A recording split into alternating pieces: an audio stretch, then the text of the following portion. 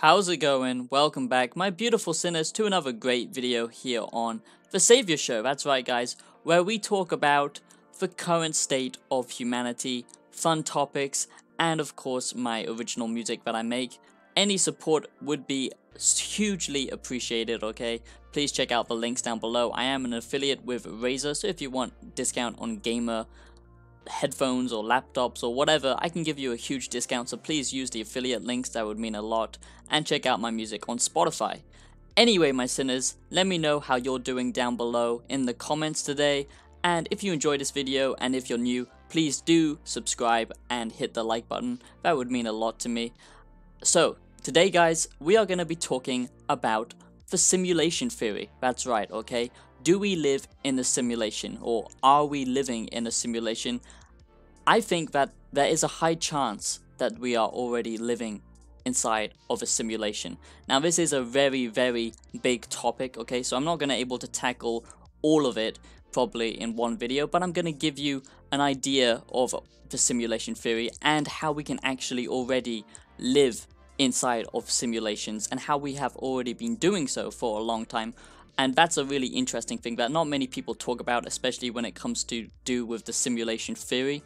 This topic is really interesting to me, and I think it's a really important thing that we should discuss because moving forwards with humanity, we see that we are using more and more technology to socially interact with other people. We are using technology to entertain ourselves. We are using inter- you know technology to basically enhance our life and basically distance ourselves from our original biological being. Now, I talk about this in my dystopian series. If you don't know what that is, please check out the playlist. It's very interesting, and that's pretty much one of my main focuses on this channel.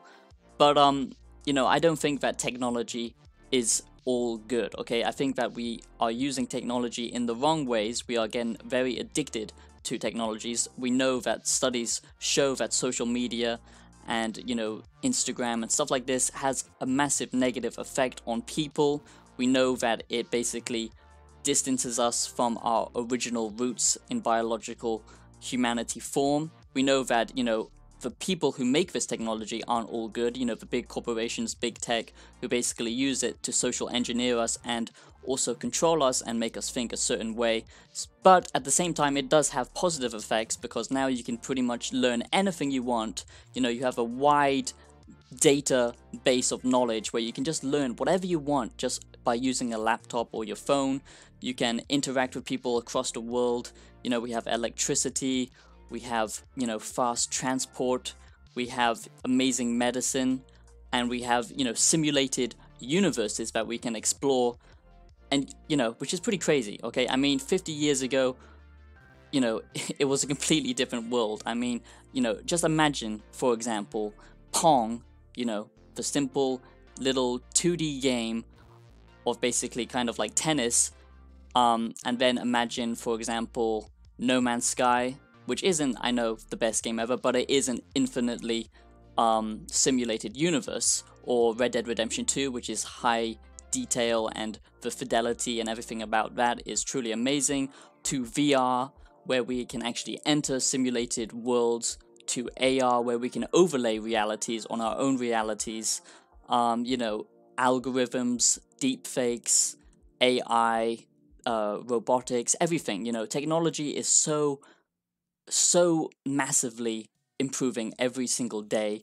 It's getting more and more evolved as time goes on. It doesn't stop. It's, you know, evolving faster than anything else in this world, okay?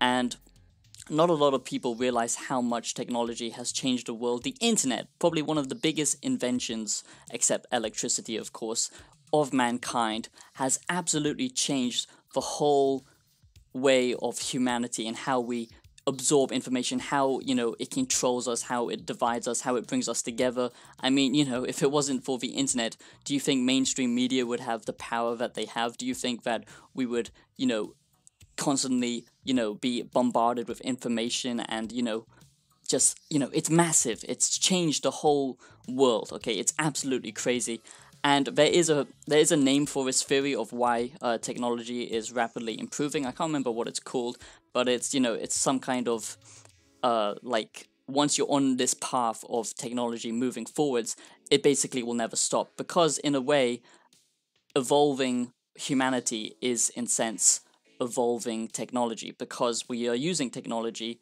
to basically um, push the limits of our own biological being to the next level, to transcendence, to the symbiotic, um, you know, afterlife or whatever. And, you know, I don't really like technology because, like I says, we are biological apes at the end of the day. And, um, you know, technology can be good, but it's also divided us. It's also made us lose track of what's important in life. It's uh, become absolutely greedy, and capitalism and modern day consumerism has basically made technology into something not beneficial completely. It's made it, you know, in a way negative. I mean, there are still ben- benefits to technology, of course, there's massive benefits, but that now with this rapid growth, we see there are a lot of negatives, and that's what I talk about. You know, I want to avoid a dystopian future. If we can use technology to bring humanity better and you know become better as a species and go out and explore the stars and you know enter these simulated universes that can actually benefit us and you know not completely detach from our own biological truth then that would mean a great deal to me. But sadly, humanity doesn't look like it's heading towards that direction. Okay, so that's just a little backstory of why um, technology is so rapidly, you know, improving 24 7 and why I think, you know, this dystopian world that we are heading towards, we need to really think about it because it's changing so quickly. Just, you know, look at the last five years, look at the last 10 years, look at the last 15 years, okay? Imagine a world you know the future in 60 years time what is vr to look like? What is ar to look like? What is social media to look like? Okay? How is the internet going to evolve? Okay? So these are the questions we need to ask. And today like i said i'm talking about the simulation theory okay? Now the simulation theory is basically basically it has two points of you know it has two main points okay? So basically either we are going to evolve to the point of you know just being biological humans and we're going to go extinct without ever creating um, you know simulated realities okay? Or humanity is going to evolve to the point where we create ancestor simulations. But and what this is basically it means that we live through our old humanity experiences via a simulation or we create um, basically parallel realities similar to the parallel universe um, theory or the many worlds theory or the multiverse theory, but it's actually not in you know uh, real space and time. It's all simulated via a super you know high tech computer and algorithms and AI and all that stuff. Okay, and AI is uh you know it can pretty much do anything nowadays. Okay, so and the third option is pretty much that we are already living in a simulation and we don't even know it. Okay, so I don't know which one of the three is actually true. I'm pretty sure that we will create uh, simulated uh, realities. I don't know if we already live in a simulation, that could be likely, or we are just going to go extinct and this is never going to become possible, which is also a possibility because humanity loves war and all that good stuff, so I don't know but it is very possible that we are already living in a simulation, okay? So just take games for example, okay? Games are in essence a simulated world that you can enter and you can interact with, okay? Um, now the question really comes to do with what is reality? What do we perceive as reality? Is it something that we measure as in physical space and you know physical being or just physical presence? Because if it is, then entering a virtual reality world via VR or something, you know, and having your perception altered, does this mean that you've entered a new reality? Okay, you know, the questions have kind of gone unnoticed. Okay, people don't question things; they just accept them because, like I said, when technology is improving so massively, okay, people just, you know, take it. You know, they don't really um, think about it; they just accept it because it's part of evolution. You know, if you're born into a world with you know, television or mobile phones, then that's fine. You know, but if you were born into a world where basically the, the only things that you had were horses and carriages, and then you were suddenly transported into the current reality that we live in now, then you would be absolutely mind blown. So that's what I'm trying to say is, you know, people don't question these technologies and what the nature of them actually are because pretty much, you know, we need to define what reality is because if it's just a perception, then we can enter any reality that we want anytime. Okay, so VR is that a reality? Okay, when you have sensors and full haptic feedback, and you can feel everything and all the simulations and all the stimulations of real life in a virtual reality world, you know, smell, taste, touch, does that then become a reality that you're living through in cybernetic uh, computer space, okay? So, the question is, games nowadays, okay, are truly amazing, okay? And so, you know, any kind of simulation is amazing. It doesn't have to be a game, okay? So, in the future, games, for example, will basically become so close to reality, or they will match our reality so well with full-on fidelity, you know, full-on real-world physics. You know, it will just become so close to reality but you can't tell the difference between a simulation and reality. And that happens sometimes even in modern day tech, you know, with some amazing games, for example, Boneworks. It's very easy to trick your brain into thinking you're actually in this reality, okay? So, you know, we just need to see the natural evolution of technology and how basically one day it will become, you know, it, there's, there, there won't be a difference between our reality and games, is what I'm trying to say, okay? So, we need to accept that as a possibility for the simulation theory. The other thing is how can we do ancestor simulations, okay? And we already have a basis for this with current technology, and this is called the Tesseract, okay? Now, the Tesseract is pretty much uh, an idea based on how we can create ancestor simulations with modern day tech, okay? For example, we need a virtual reality device where you can interact with a simulated world, okay? Then you need AI algorithms to program, you know, a memory, for example. And we can have, you know, uh, AI that can abstract um, and basically take, you know, humans' memories and their their experiences and, you know, program it into uh, AI and basically fill in the gaps of your own memory and enter that memory via VR, via these uh, AI systems, okay? Then all we need is a haptic feedback suit, basically, to bring presence into this, and then you've created basically an ancestor simulation where you can interact with previous versions of yourself or you know a, par- a parallel reality of yourself and interact via that way so you know, already we have a basis of, you know, um, creating these simulated universes. And this can be a fresh, completely new universe, or it can be, like I said, an ancestor simulation, which is very, very possible. Okay, so who's to say we are the original versions of ourselves? We could just be one of many copies of our own simulations. Okay, and all you really need is, you know, data. Okay, and as you know, AI collects our data 24/7. You know what we like, uh, how our shopping habits are, you know the things that we dislike, uh, the questions that we ask, and all that kind of stuff. You know this is how advertisers always market to you exactly what you want. Now this is how the algorithms know on websites what you're interested in. This is how Google knows exactly what you like, what you don't like.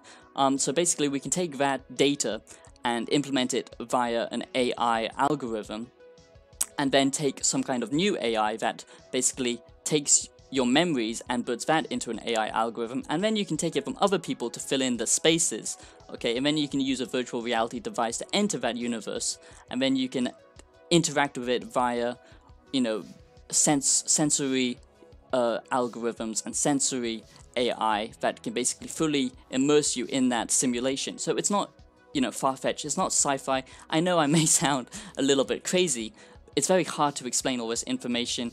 You need to go and look it up yourself, okay? Just research for simulation theory, but you know, the ancestor simulation theory is very, very possible, and we can pretty much do it with current technology. We just need more advanced AI to access our memories, uh, you know, photo technology, you know, now more than ever we can take photos of ourselves. So there's so much backlog of data um, to basically, you know, capture someone's face. That's how deepfakes work. You know, capture the moment in time, you know, the surroundings, so you can program it into a simulated version. So ancestor simulations and many copies of ourselves simulated is very possible. So it's very possible that, you know, we are a simulation of ourselves far from, you know, basically in the future, um, and we are just a simulation carbon copy of ourselves or a high advanced humanity that has managed to clone us and simulate us, okay?